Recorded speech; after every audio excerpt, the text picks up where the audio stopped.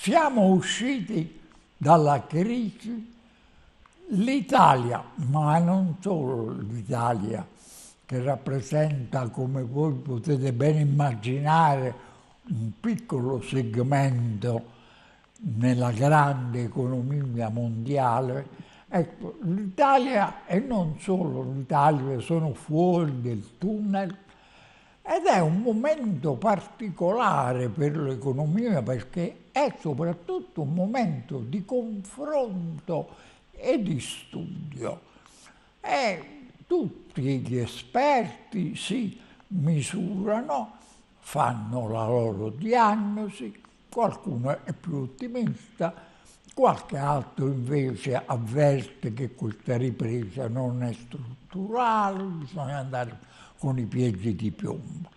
Ma noi per saperne di più, per dirvi che cosa è successo nel periodo in cui non abbiamo, come dire, trasmesso perché siamo stati in ferie, ci affidiamo al nostro consueto e preparatissimo esperto che ci conduce lungo i sentieri dell'economia non solo italiana ma internazionale.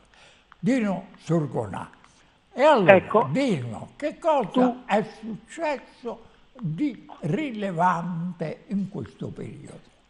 Allora, in questo periodo è successo, molt, sono successe molte cose di rilevanti, come all'Ambrosetti hanno messo in evidenza. Innanzitutto, la crisi peggiore del dopoguerra è alle spalle e non solo per l'Italia, ma per tutte le economie avanzate, che invece si contrappone a questo miglioramento dell'economia una situazione globale, strategica e politica invece molto più complicata. L'Europa si è rafforzata in reazione alla Brexit e alle elezioni di Trump, ma per il mondo anglosassone, ad esempio, si sono complicate le cose, in Gran Bretagna si sono complicate le riforme strutturali, negli Stati Uniti, mentre le economie e la finanza marciano bene, divergono sempre più dalla politica, vittima anche di rigurgiti di razzismo. Eh. E l'altra cosa, la grande novità, è la Cina che si offre come leader mondiale e mediatore delle questioni complesse nel mondo, cosa che prima era funzione tipica degli Stati Uniti. Senti, Questo diciamo è il panorama Dino, globale. Ti volevo chiedere una cosa. Un appuntamento molto importante nel periodo in cui noi non trasmettevamo è stato quello nello Wong in America dove erano presenti Draghi, se non sbaglio, e la Yellen della Federal Bureau. Bene, che cosa è venuto fuori da questo summit a grandissimo livello, atteso certo. e commentato poi? Allora, la, l'attenzione degli, sia dei banchieri che degli economisti era puntato sul fatto se Draghi o la Presidente della Federal Reserve americana avessero fatto cenno al drenaggio di liquidità immesso nel mercato e a un possibile, ai tempi, di rialzo del costo del denaro, cioè dei tassi di interesse. Ma sia la Yellen che Draghi si sono tenuti un po' a distanti da questa questione, tanto più che un mese fa Draghi era stato mal capito e c'erano stati problemi sul mercato. Che, quali sono stati però i temi affrontati? Innanzitutto la Yellen, su cui tra l'altro Draghi ha posto anche il suo consenso, innanzitutto il tema della cooperazione economica e l'importanza delle regole poste in essere dopo la crisi per la stabilità del sistema economico finanziario.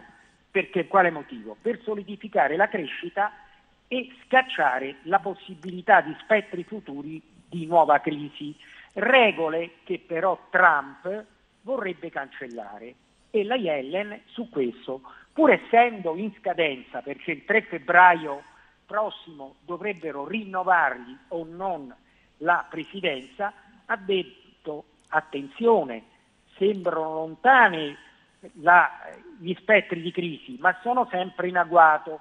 Non è un buon momento per regole permissive e addirittura aggiunto sono inopportune. Bene, bene. Draghi da parte sua invece ha detto, ha puntato il dito sulla cooperazione, bisogna aprire l'economia creando reti di protezione contro squilibri e sperequazioni, per quale motivo? Bene. Perché non sorgano i protezionismi. Senti Dino, ti volevo dire, un altro appuntamento è finito un due giorni fa o l'altro giorno ed è il forum Ambrosetti tradizionale incontro che si tiene a Cernobbio. Io non voglio parlare, come dire, della presentazione di aspiranti a primi ministri tipo Di Maio, Salvini e roba del genere, non mi interessa particolarmente. Ecco, il convegno si svolge a porte chiuse, ma tu certamente qualche cosa in più saprai.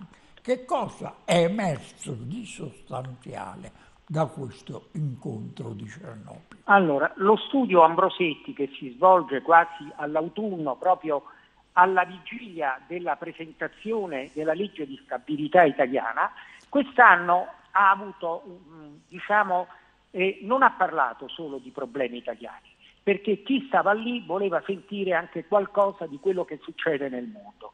E il, eh, diciamo, il punto più importante è stata che cosa succederà dell'Europa attuale. Andremo verso un rafforzamento dell'Europa o a una disgregazione dell'Europa? Non solo dell'euro, dell'Europa. Tant'è vero che un ministro francese dell'economia ha rilanciato di nuovo la prospettiva di un ministro dell'economia europeo, sulla quale Padoan, il nostro ministro, non si è detto in disaccordo, ma che ci vuole pensare perché vuole sapere quali poteri dare a questo ministro dell'economia. Questo è stato uno dei punti. Un altro dei punti importanti è stata la discussione sull'Africa.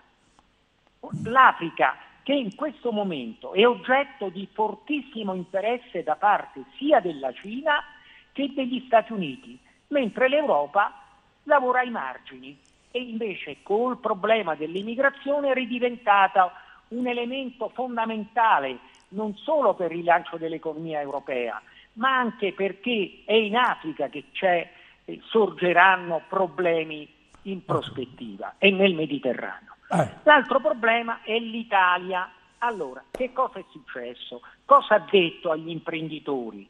Attenzione, la crisi peggiore è, è passata, l'hanno detto sia Ambrosetti, l'hanno detto scusate, sia eh, Gentiloni che Padua, ma siamoci attenti Abbiamo rispettato le regole europee, ma le dobbiamo ridiscutere queste legge, regole europee, perché non tutte le cose state, hanno funzionato.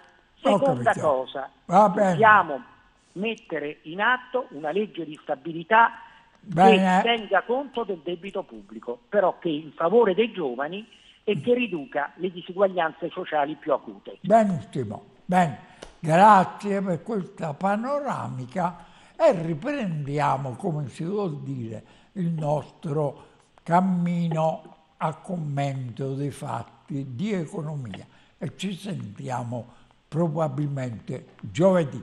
Ciao e grazie. Ciao, prego.